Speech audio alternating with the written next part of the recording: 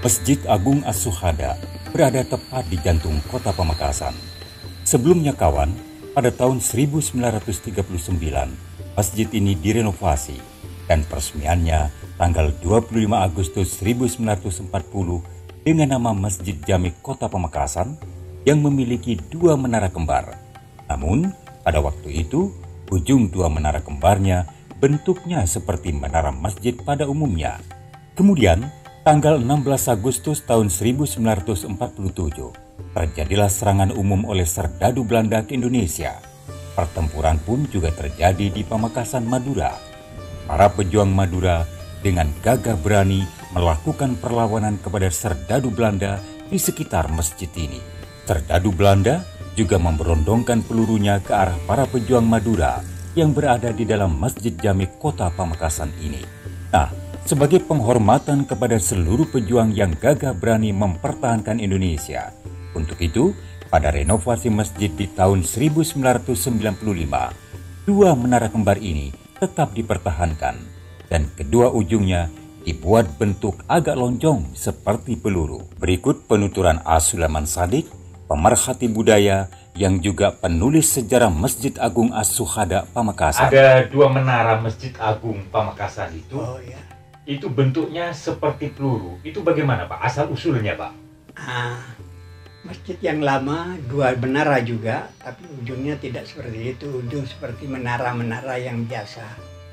Setelah dirombak, direnovasi tahun 95 kalau tidak salah.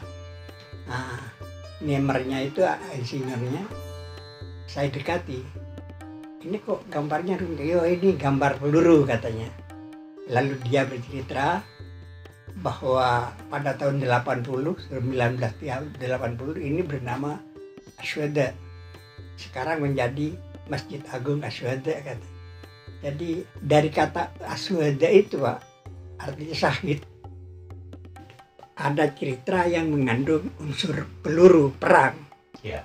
Dan memang benar, yaitu pada penyerangan tanggal 16 Agustus 1947 itu terjadi pertempuran hebat di, di, di depan masjid itu. Pertempuran yang dilakukan oleh tentara, Sabil, Hizbullah, dan sebagainya dari seluruh Madura. Jadi bukan orang Pamekasan, Pak. Iya, dari seluruh. Dari seluruh Madura itu awal-awal daripada sekarang untuk kenangan itu untuk mengenang jadilah ujung apa puncak dari menara itu di, diwujudkan sebagai bentuk peluru memang beda pak saya dilihat saja seperti beda jadi pada waktu itu para pejuang berada di uh, berlindung masuk ke dalam masjid pak sehingga diserang uh, habis menyerang itu kalah kabut waktu itu. Waktu yeah. itu saya kecil umur 12 tahun. Saya berubah di Barat Pos. Dan memang dekat Pak saya. Iya. Nah, di, memang dekat, maka pertempuran habis habis di dari apa di ditembak di luar larinya ke dalam. Belanda itu juga mengirim pelurunya ke dalam pak. Sehingga tidak sampai roboh masjid itu tapi berlubang-lubang pak di dalam. Di atap itu berlubang-lubang juga sampai lama itu pak. Sampai puluhan tahun ah, bukan puluhan ber bertahun-tahun. Bertahun-tahun. Memang dibiarkan sebagai bukti sejarah. iya. nah akhirnya setelah 95 itu jadilah dua menara itu diwujudkan dalam bentuk peluru